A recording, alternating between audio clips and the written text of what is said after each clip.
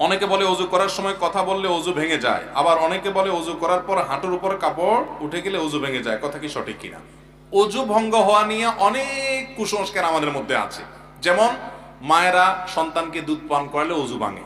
বলে কি, বলে না অনেকে? ভুল। তারপরে, বিড়ি সিগারেট খাইলে অজু ভাঙে। এটাও ভুল। বিড়ি সিগারেট খেলে অজু ভাঙবে না। ভাঙবে তাকুয়া আরও বড়টা। অজু ভাঙলে তো এমন কোনো অসুবিধা ছিল না গুণা হবে না অজু ভাঙা তো গুনার কাজ না, কিন্তু তার কি ভাঙবে? তাকুয়া ভেঙে যাবে, আমল ভেঙে যাবে গুণা হবে। হাঁটুর উপরে কাপড় উঠলে অনেকে বলে অজু ভাঙবে না, এটাও ভুল।